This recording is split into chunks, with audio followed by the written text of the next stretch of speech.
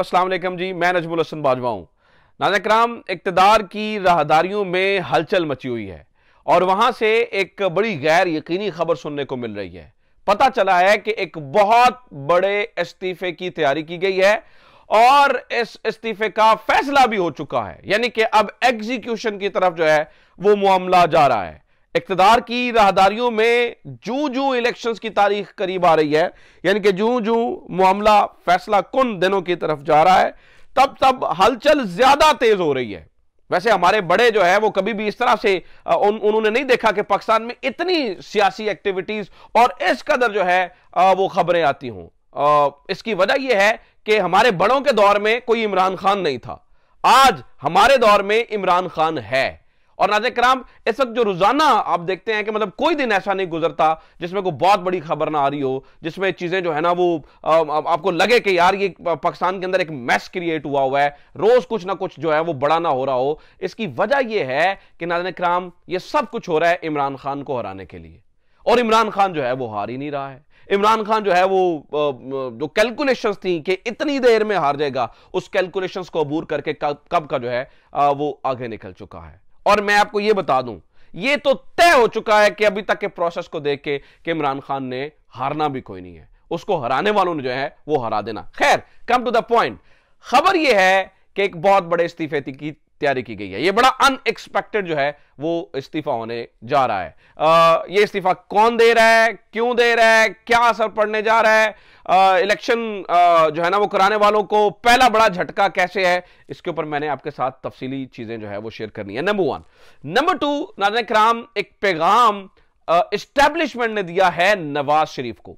कहा यह गया है अमूमी तौर पे तमाम जमातों को दिया है। लेकिन यह पैगाम एक्चुअली बनाम नवाज़ शरीफ है। और ये बड़ा एक ज़बरदस्त पैगाम है जो हालात जो हालात हाजरा हैं, उनमें एक बहुत बड़ी खबर है। नंबर टू मैंने आपके सामने ये शेयर करना है और नंबर थ्री नाजन कराम सदर ममलिकत के साथ पहली बार इमरान खान ने एक सख्त तरीन जो है वो पैगाम उनको भी पहुँचाया है। आरिफ अलवी साहब की मैं बात कर रहा हूँ। उनको भी जो है, वो एक पैगाम पहुँचाया गया है। और तीसरा, साइफर के मामले पर भी आज कुछ अपडेट हुई है। तो ये सारी चीज़ें जो है ना, वो मिला के मैंने आपके साथ शेयर करनी है। So come first thing comes first बड़ा इस्तीफा। ये क्या है? नाजन कराम इस्लामाबाद के एक जर्नलिस्ट हैं आमिर इलियास राना साहब। ये एक्सप्रेस न्यूज़ इस्लामाबाद के ब्यूरो चीफ भी हैं। गो कि मुझे इनकी सियासी सोच से बड़ा इख्तलाफ रहता है। हमेशा मैंने कई बार जो है ना, वो अपनी वीडियोस के अंदर क्रिटिसाइज भी कर देता हूँ। लेकिन एक चीज़ है कि क्रेडिबिलिटी के ऊपर, इनके ऊपर कोई सवालिया निशान नहीं है। मतलब एक क्रेडिबल इंसान है और एक मंजे हुए रिपोर्टर हैं। गो के अगेन चूँकि अक्सर इमरान खान के खिलाफ बोल जाते हैं, लिहाजा इनकी सोच से जो है ना वो मेरा अख्तलाफ रहता है। लेकिन इनकी, इनके पास जो खबरें होती हैं, वो बड़ी क्रेडिबल सोर्सेज से आती हैं। क्योंकि समटाइम हमारे पास भी जो खबरें आ रही होती हैं तो हम इंतज़ार कर रहे होते हैं कि अमर इलियास राना क्योंकि उनको, उनके पास जो कि एक्सपीरियंस है तो हम ये देख रहे होते हैं कि अगर आमिर इलियास राना ने कहा तो फिर इसका मतलब है, ये जो हमारे पास खबर आई है, ये सच होगी। तो आमिर इलियास राना की खबर ये है नाजन कराम वो ये कह रहे हैं कि नवंबर के महीने के अंदर बड़ा इस्तीफा आ रहा है। और वो इस्तीफा है जनाब chief election commissioner Sikandar Sultan Raja का। अब आप हैरान होंगे कि chief election commissioner Sikandar Sultan Raja साहब किन चक्रों में जो है वो इस्तीफा दे रहे हैं। क्योंकि ये तो कंपनी का सबसे बड़ा मतलब मोहरा है, ठीक है? तो सिकंदर सुल्तान राजा को इस्तीफा देने की क्या ज़रूरत पड़ी? है सिकंदर सुल्तान राजा के साथ सभी कंफर्टेबल हैं। फैसला साज भी कंफर्टेबल हैं, नवाज़ शरीफ साहब भी कंफर्टेबल हैं। ये तो चैन ही चैन लिखते हैं तो ये इस्तीफा क्यों दे रहे हैं? इसके पीछे नाजन कराम, अब जो है ना वो असल कहानी सुन लीजिए। बताया तो ये क्या है, अमर राना साहब कहते हैं कि जनाब इस्टेब्लिशमेंट ने नवाज़ शरीफ साहब को पैगाम भेजा है कि आप, आपकी लड़ाई में हम नहीं पड़ेंगे, आप बजाते खुद लड़े अगर कोई हमारी तरफ़ हमारी तरफ़ ना आना, अपनी तरफ़ रहना और अपनी लड़ाई जो है वो खुद लड़ो। तो नवाज़ शरीफ साहब को शायद ये मतलब जो मैं उनकी बात से समझ सका हूँ कि आमिर लियास राना साहब ये कह रहे हैं कि स्टैब्लिशमेंट ने ये पैगाम दिया है कि भाईजान आप जो कुछ हम तुम्हारे लिए कर सकते थे, कर दिया है। अब तुम जानो, इमरान खान जाने आपस में आके जाओ लड़ो, हमारी तरफ़ नहीं देखना। और इसकी वजह यह बताई जाती है कि शायद नवाज़ शरीफ साहब ने जो पिछले दिनों में जो गुस्ताखियाँ की हैं, शायद इसकी ये वजह है। और इस वजह से जो है ना वो ये करने जा रहे हैं। लेकिन राजा कराम मैंने जरा इधर उधर जो है ना वो इस खबर सुनने के बाद थोड़े से फ़ोन शोन घुमाए हैं और इधर उधर जो है ना वो बात किया तो मुझे कुछ मजीद मालूम भी मिली हैं, जो मुझे लगता है ठीक है, आमिर आमिर लियास राना साहब की खबर तो सच है, लेकिन मकसद इसके पीछे कुछ और है। यानी सिकंदर सुल्तान राजा का जो इस्तीफा है, वो कुछ छोटी बात नहीं है, ये बहुत बड़ी बात है। और अगर इनको आमने सामने करना है और स्टैब्लिशमेंट ने हाथ उठाना है तो फिर भी सिकंदर सुल्तान राजा जो है ना, वो इस्तीफा ना दें इलेक्शन फ्री एंड फेयर करवा दें। तो मामला तो जो है ना, वो वाजे हो जाएगा सिंपल खत्म हो जाएगी बात। लेकिन सिकंदर सुल्तान राजा का यहाँ पर इस्तीफा देना जो है ना, वो मामले को थोड़ा सा पचीदा कर रहा है। तो सिकंदर सुल्तान राजा फिर इस्तीफा क्यों दे रहे हैं? इसके बारे में हमने थोड़ा सा मजीद जो है ना, वो जब इन्वेस्टिगेट किया तो नाजन कराम जो बात समझ आ रही है, वो इस तरह से लग रही है कि सिकंदर सुल्तान राजा अगर इस्तीफा दे देते हैं, क्योंकि वो ये कह रहे हैं जी, तीस नवंबर को इलेक्शंस की तारीख दी जाएगी, और अगर इलेक्शंस नहीं होंगे तो मैं इस्तीफा दे दूँगा। पहली तो बात यह है कि अगर वो तीस नवंबर को इलेक्शंस की तारीख देते हैं, नवंबर अभी बहुत आगे है तो फिर वो तारीख क्या देंगे? पहली तो बात यह है कि 30 नवंबर को तो इलेक्शन हो जाने चाहिए थे। इसका मतलब है 30 नवंबर को वो इलेक्शंस की माफ़ कीजिएगा, तारीख देने जा रहे हैं, जो कि ऑब्वियसली 30 नवंबर नहीं होगी, उससे आगे एक दो महीनों की होगी। और उसके एक दो महीनों के बाद अगर वो इलेक्शन सिकंदर सुल्तान राजा को होते हुए नहीं नज़र आते तो वो इस्तीफा दे देते हैं। अब नानकराम अगर इन्हें इलेक्शंस होते हुए नज़र नहीं आते और ये इस्तीफा दे देते हैं तो मुझे ये लगता है कि सिकंदर सुल्तान राजा की माफ़ कीजिएगा मुझे ये लगता है कि मुबैना तौर पर इनकी जो है ना, वो नीयत में खोट है। अगर सिकंदर सुल्तान राजा इस्तीफा देते हैं तो इसका मतलब ये होगा कि सिंपली इस मकसद को अचीव करना कि इलेक्शंस को मजीद आगे लेकर जाया जाए।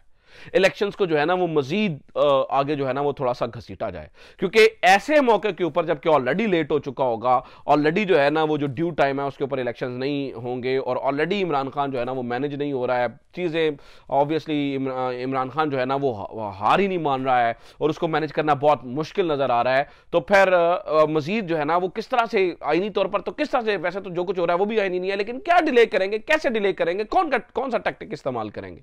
तो इसके लिए ये सबसे मज़ेदार टैक्टिक नज़र आता है कि सिकंदर सुल्तान राजा जो चीफ है, वो इस्तीफा दे दे।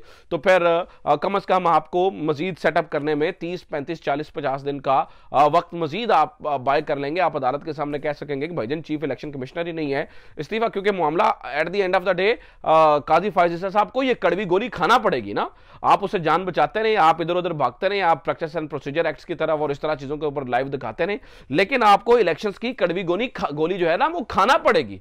इसके अलावा आपके पास ऑप्शन नहीं है तो उनके सामने ये प्ली ली जा सकती है कि जनाब चीफ इलेक्शन कमिश्नर तो नहीं है ना चीफ इलेक्शन कमिश्नर तो मौजूद ही नहीं है तो फिर हम क्या करें? हमसे जो है ना वो इलेक्शन नहीं होते। तो एक सादी सादी जो है वो बात नज़र ये आती है। तो फिर जो वो हमें वो कहानी सुनाई जा रही है ना कि स्टैब्लिशमेंट ने जो है ना वो सीधा सीधा नवाज़ शरीफ साहब को पैगाम दिया है और ये वो, मुझे ये लगता है कि इसके अंदर उस तरह से जो है ना वो सच्चाई नहीं है।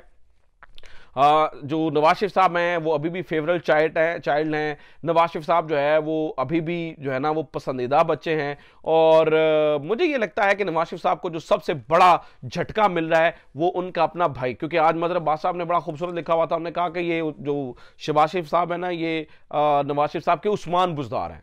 तो उनका अपने भाई की वजह से मसले मसाइल होंगे या अपने भाई की वजह से प्रॉब्लम्स होंगी। स्टैब्लिशमेंट अभी भी न, अभी नवाज़ के खिलाफ जो है वो कुछ बहुत बड़ा नहीं करने जा रही माफ़ कीजिएगा कुछ बहुत बड़ा जो है ना वो नहीं करने जा रही।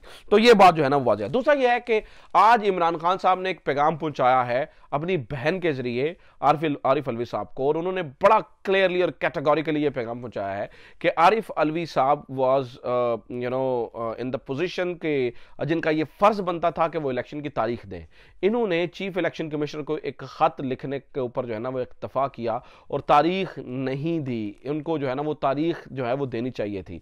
तो इसके ऊपर बड़ा शदीद गम गुस्सा भी है और शदीद जो है ना उन्हें परेशानी भी है और उन्हें मतलब इमरान खान को ये लगता है कि आरिफ अलवी ने ये जो काम किया है ना, ये बिल्कुल जो है वो ठीक नहीं किया। उनको इससे मतलब अपना कद थोड़ा सा जो है ना वो बड़ा करना चाहिए था और ये पार्टी के ऊपर मुश्किल जब आती हैं या ये तो अब सदर ममलिकत पाकिस्तान के हैं तो पाकिस्तान के ऊपर जो है ना वो एक आईनी ज़िम्मेदारी उनके ऊपर बनती थी, जो कि उन्होंने इसके ऊपर जो है ना वो अपनी ज़िम्मेदारी के ऊपर पूरा नहीं उतरा, इसलिए इमरान खान जो है वो यहाँ पर जो है ना वो शदीद गुस्से में नज़र आते हैं।